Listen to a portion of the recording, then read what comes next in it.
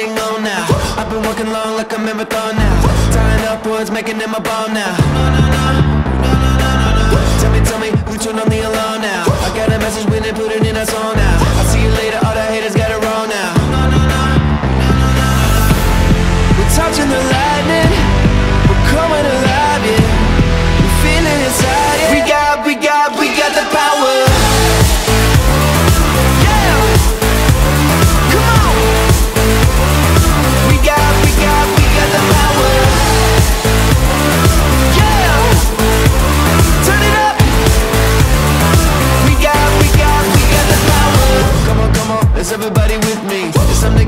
no more enemies Throw your hands up, can you feel the energy?